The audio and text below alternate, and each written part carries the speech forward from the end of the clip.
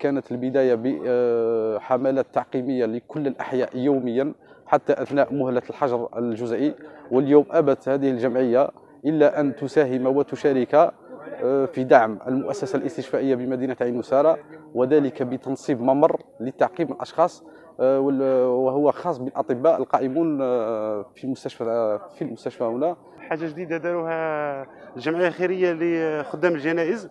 شبيبه ما شاء الله بارك الله فيكم اللي متمثله في ممر التعقيم كان خاصنا بزاف في المدخل تاع المصلحه العزل المخصصة لمرضى كورونا. آه، اليوم ثاني تقدم محسن للمستشفى. بمجموعة من المعدات الوقاية اللي راح تساعدنا إن شاء الله بزاف في الخدمة.